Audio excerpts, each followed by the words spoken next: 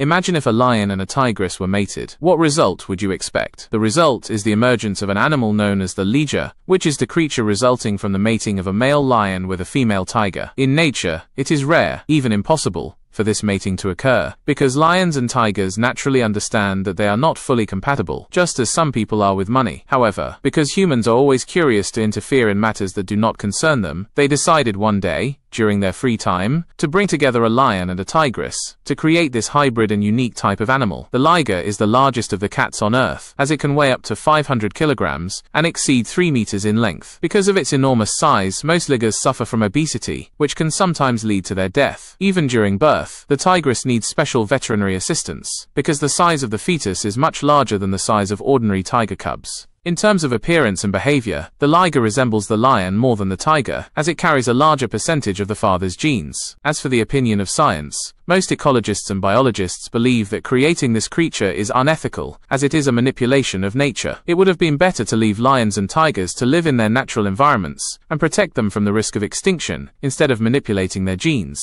But what do you think? Do you agree with scientists that the existence of the liger is unethical, or do you see that the matter has another dimension? Share your opinion with me.